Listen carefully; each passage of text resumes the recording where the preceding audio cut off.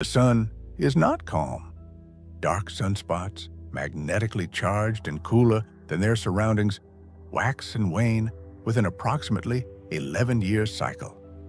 At cycle peaks, we see more sunspots, more flares, and more coronal mass ejections, eruptions that can march through space and disturb satellites, radios, and power grids on Earth.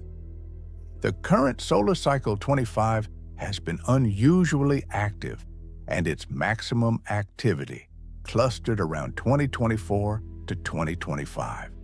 A reminder that our star's moods can have earthly consequences.